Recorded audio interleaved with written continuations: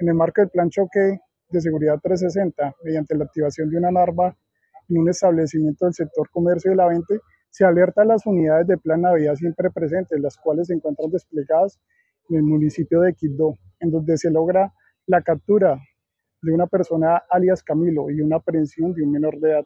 Igualmente se logra la incautación de un arma traumática, una motocicleta y 200 mil pesos en efectivo. Se invita a las personas, si quieren acercarse a las unidades de la SIGIN o la Fiscalía a realizar alguna denuncia sobre estos hechos. Igualmente invitamos a la ciudadanía a brindar cualquier información a la línea 123 y recuerden, seguimos actuando por Chocó.